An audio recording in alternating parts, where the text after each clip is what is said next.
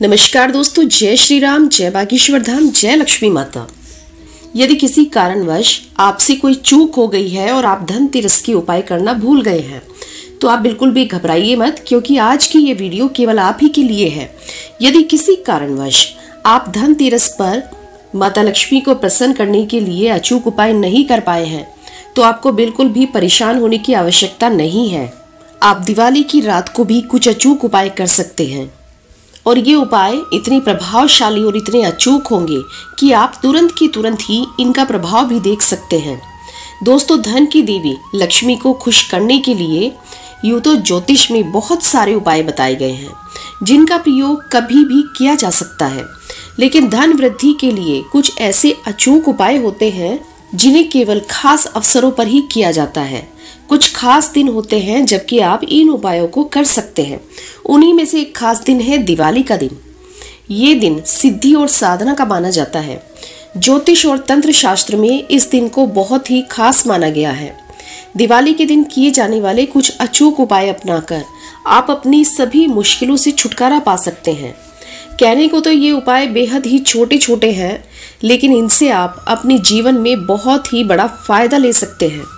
दोस्तों, वीडियो में आगे बढ़े। उससे पहले आप सभी से एक छोटी सी प्रार्थना है कि आप वीडियो को लाइक करके चैनल को सब्सक्राइब कर लीजिए और कमेंट बॉक्स में जय माँ लक्ष्मी ज़रूर लिखें, जिससे कि माँ लक्ष्मी की कृपा सदैव आप पर बरसती रहे। दोस्तों, एक और बात, ये बहुत ही छोटी सी वीडियो है, इसलिए आप इस वीडियो को स्किप करके बिल्कुल भी मत देखिएगा, नहीं तो आपको ये उपाय समझ में नहीं आएँगे। आप इस वीडियो को पूरा देखिए, तभी आप इन उपायों को सही प्रकार से कर पाएँगे। दिवाली की शाम को आप साबुत उड़द, दही और सिंदूर लेकर पीपल की जड़ में रख दें। पेड़ के नीचे एक दीपक भी जलाएँ। और आप विश्वास कीजिए, इससे आपकी आमदनी बढ़ेगी। आपकी तरक्की के रोज़गार के नए नए रास्ते खुलेंगे। बस आपको दिवाली की शाम को ये उपाय ज़रूर से ज़रूर कर लेना है। दूसरा उपाय, दिवाली के दिन आप पीपल का पत्ता लें, उस पर कुमकुम लगाएँ और फिर उस पर लड्डू रखकर हनुमान जी को भोग लगा दें ऐसा करने मात्र से ही आपकी सारी परेशानियाँ दूर हो जाएँगी। दिवाली पर किए जाने वाला तीसरा उपाय। दिवाली की रात को उल्लू की तस्वीर तिजोरी पर लगाएँ। जी हाँ दोस्तों, आपको उल्लू की एक तस्वीर ले लेनी है।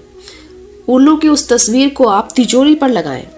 उल्लू माता लक्ष्मी का वाहन है और वह हर पूर्णिमा को पीपल का चक्कर लगाता है जहाँ माता लक्ष्मी विराजती हैं। यदि आप ऐसा करेंगे तो माँ लक्ष्मी खुश हो जाएँगी और आप पर जमकर कृपा बरसाएँगी। चौथा उपाय, लक्ष्मी पूजन में पीले रंग की कोड़ियों का इस्तेमाल करें।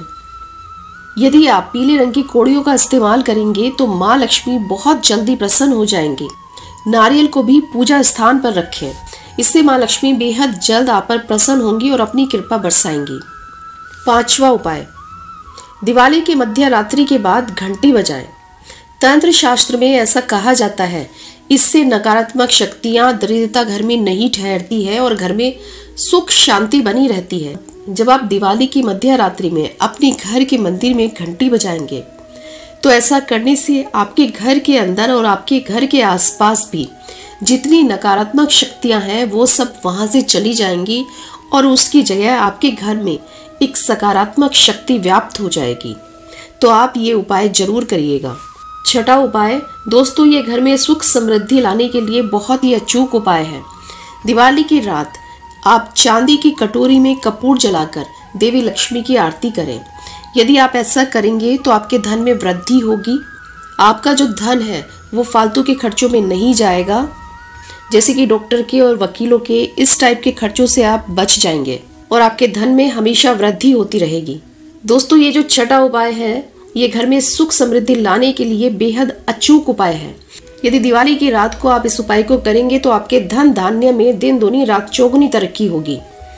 आप बहुत ही ध्यान से सुनिएगा, दिवाली की रात आप चांदी की कटोरी में कपूर जलाकर देवी लक्ष्मी की आरती करें।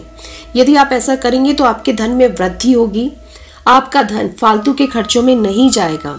यदि आप बिज़नेस करते हैं तो बिज़नेस में आपकी नई नई डील होंगी और यदि आप नौकरी करते हैं तो नौकरी में प्रमोशन के योग बनेंगे। इसके अलावा, आप स्फटिक का श्रीयंत्र लाल कपड़े में लपेटकर अपनी तिजोरी में रखें। ऐसा करने से आपके धन धान्य में और अन्न भंडार में भी कभी कोई कमी नहीं होगी। सातवां उपाय, दिवाली के दिन किसी मंदिर में झाड़ू का दान ज़रूर करें। दिवाली की मध्य रात्रि में चौराहे पर आप एक दीपक जलाकर ज़रूर रखें और ध्यान रखें कि ऐसा करते समय आप पीछे मुड़कर बिल्कुल भी ना देखें। इससे आपकी जो भी परेशानियाँ हैं, आप उन सभी परेशानियों से छुटकारा पा लेंगे। आठवां उपाय, दिवाली के दिन काली हल्दी देवी लक्ष्मी को अर्पित करें। पूजा के बाद हल्दी को लाल कपड़े में बांधकर धन रखने वाले स्थान पर रखें। ऐसा करने से निरंतर आपकी संपत्ति बढ़ती रहेगी। नोवा उपाय जल्दी और अचानक धन लाभ के लिए दिवाली की शाम किसी बरगद के पेड़ की जटा में गांठ लगाएँ। धन लाभ मिलने के बाद आप इस गांठ को ध्यान से खोल दें। दोस्तों, ये बहुत ही छोटे छोटे से और बहुत ही साधारण से उपाय हैं, लेकिन इनके लाभ बेहद ही अद्भुत है। आप अपनी सुविधा अनुसार कोई भी उपाय कर सकते हैं। आप सभी को दिवाली की हार्दिक शुभकामनाएँ। यदि आपको हमारे द्वारा दी गई ये जानकारी पसंद आई है तो वीडियो को लाइक करके चैनल को सब्सक्राइब कर लीजिए और साथ ही साथ इस वीडियो को अपने दोस्तों और रिश्तेदारों के साथ शेयर करके आप भी पुण्य के भागीदार बनिए। आपसे पुण्य भेंट होगी इसी प्रकार की जानकारी के साथ। अपना ध्यान रखिए, स्वस्थ रहिए, सुरक्षित रहिए। जय माँ लक्ष्मी।